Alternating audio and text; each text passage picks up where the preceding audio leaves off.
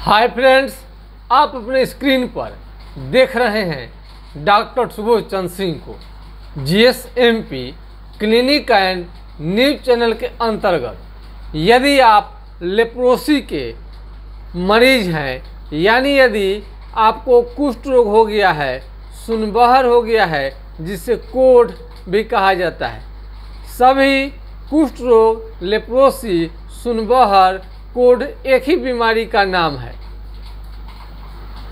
यदि आप लेप्रोसी के गंभीर बीमारी से आप ग्रस्त हैं, यानी लेप्रोसी आपको बहुत ज़्यादा दिनों से है और एमडीटी दवा आपने इस्तेमाल कर लिया है, उसके बाद में भी आपको ये लेप्रोसी छोड़ नहीं रहा है, अनेक कष्ट दे रहा है।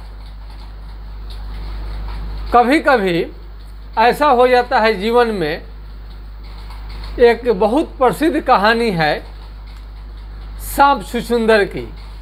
यदि सांप छुछुंदर को पकड़ ले तो यदि निगल जाएगा तो मर जाएगा। अगर पूरा निगल गया तो मर जाएगा और छोड़ देगा तो अंधा हो जाएगा। ठीक इसी प्रकार से लेप्रोसी के जो मरीज़ हैं एमडीटी का दवा खाते हैं।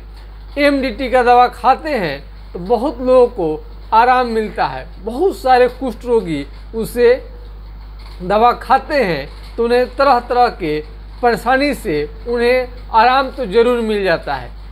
लेकिन उस वो छोड़ते हैं तो फिर वो बीमारी रिपीट होने लगता है, यानी फिर बैक करने लगता है। मरीज़ क्या करते हैं कि फिर से एमडीटी लेना शुरू कर देते हैं। जब फिर से एमडीटी लेना शुरू कर देते हैं तो उन्हें कई तरह के साइड इफ़ेक्ट देखने को मिलता है।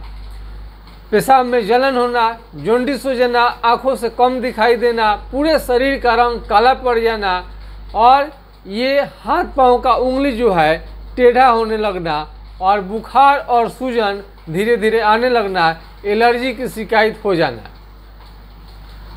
आज के खास वीडियो में हम बताएँगे कि लेप्रोसी के मरीज़, यानी यदि आपको कुष्ठ रोग हो गया है और इसके गंभीर समस्या से आप ग्रसित हो गए हैं तो इसमें करना क्या चाहिए?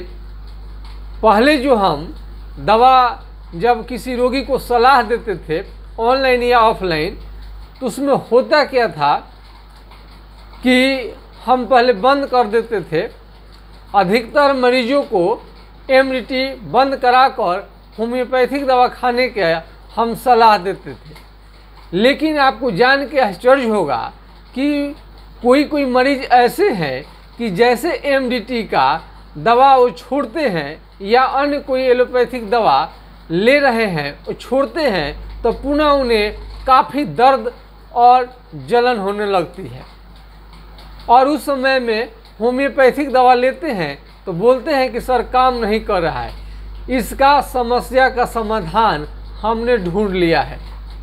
कई मरीजों को ये लेप्रोसी जिन्हें हो गया है। यदि आप गंभीर समस्या से आपको जूझ रहे हैं तो आपको करनी क्या चाहिए? होम्योपैथिक दवा के साथ साथ आपको एलोपैथिक दवा भी लेनी चाहिए। बहुत सारे मरीज़ डर के मारे नहीं लेते हैं। वो समझते हैं कि ऐसा करना ठीक नहीं है। लेकिन लेप्रोसी के मरीज़ पर नित्य दिन नए नए प्रयोग से नए नए अनुसंधान से ये खुलासा हो रहा है कि यदि आप लेप्रोसी के मरीज़ हैं तो बिल्कुल आपको डरने की ज़रूरत नहीं है, चिंता करने की ज़रूरत नहीं है। यदि आप गंभीर संकट में पड़ चुके हैं तो ये एलोपैथ दवा आपको काम आराम तो देता है, लेकिन दूसरा साइड इफ़ेक्ट करने लगता है। एलोपैथ छोड़कर जब होम्योपैथ दवा लेते हैं तो शुरुआती एक दो दिन में तो काम करेगा नहीं। अब इसे पंद्रह दिन, एक महीना तक आपको लेने के बाद ही फ़ायदा करता है। उस कंडीशन में मरीज़ काफ़ी परेशान हो जाते हैं। करे तो क्या करें? एलोपैथ या एमडीटी का दवा छोड़कर होम्योपैथिक दवा शुरू में ले रहे हैं तो इसका असर नहीं हो रहा है। और एलोपैथ ले रहे हैं तो उनका दर्द तो आराम हो रहा है, लेकिन परेशानी बढ़ रहा है। साइड इफ़ेक्ट हो रहा है। इस कंडीशन में आपको हम कई मरीज़ पर हम देख चुके हैं कि यदि आप लेप्रोसी के गंभीर अवस्था में आप चले गए हैं, आपको ज़्यादा दिक्कत है तो आप ये एम का दवा कुछ दिन आप जारी रखें और साथ साथ में होम्योपैथिक दवा को भी आप जारी रखें। जब आपका ये कुछ आराम हो जाए, कुछ ठीक ढंग से, तब तक आपको एक महीना खाने के बाद में जब काम करने लगे, तब आपको छोड़कर देखनी चाहिए यदि छोड़ने से आपका बीमारी बैक नहीं कर रहा है, तब उस समय में आप एमडीटी या अन्य दवाई आप छोड़ दीजिए और फिर होम्योपैथी को कुछ दिन तक आप कंटिन्यू रखेंगे तो आपका बीमारी ठीक हो जाएगा। हम आपको बता दें कि कोई भी बात हम बनावटी नहीं कहते हैं जो जो कि रोगी पर जो दिन प्रतिदिन घटित होता है और मरीज़ कैसे ठीक हो रहे हैं, उसी अनुभव को हम आपके साथ शेयर करते हैं। इसलिए हमारे बातों पर आप सौ प्रतिशत आप डिपेंड रह सकते हैं, मान सकते हैं, विश्वास कर सकते हैं। तो लेप्रोसी का मरीज़ नित्य दिन ठीक हो रहे हैं। कोई कोई मरीज़ बहुत गंभीर होते ही हैं। उन्हें ठीक करने के लिए एलोपैथिक दवा को एकाएक आपको नहीं छोड़नी चाहिए। यदि आपको दवा छोड़ने से एमडीटी के दवा छोड़ने से काफ़ी आप बेचैनी हो जा रहा है, दर्द हो जा रहा है और काफ़ी बर्दाश्त आप नहीं कर पा रहे हैं। उस कंडीशन में होम्योपैथिक दवा साथ में लीजिए और साथ साथ में आप ये ये एमडीटी या अन्य कोई दवा ले रहे हैं, उसको भी आप लगातार जारी रखें इस तरह से आपका गंभीर से गंभीर लेप्रोसी की जो बीमारी है, वो बहुत जल्द ठीक हो जाता है। उसके पहले आपको हमने बता दिया है कि हाइड्रोकोटाइल यदि आपको लेप्रोसी का बीमारी लग गया है, कुछ रोग सुनवाहर का मरीज़ है तो हाइड्रोकोटाइल दो से चार बूंद दिन में तीन बार कुछ दिनों तक लेनी चाहिए। इससे बीमारी आगे बढ़ता नहीं है। कई लेप्रोसी के मरीज़ बोलते हैं कि दवा को सर लिख कर आप दे दीजिए लिख कर दे देंगे तो आपको आराम होने लगेगा।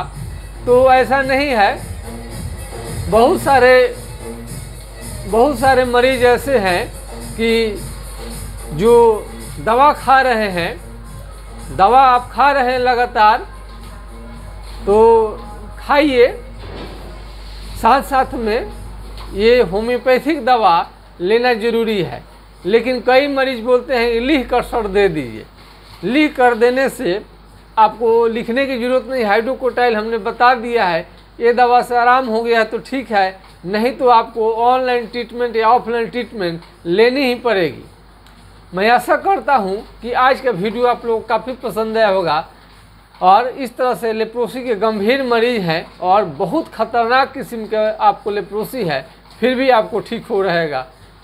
जय हिंद जय हिंद भारत।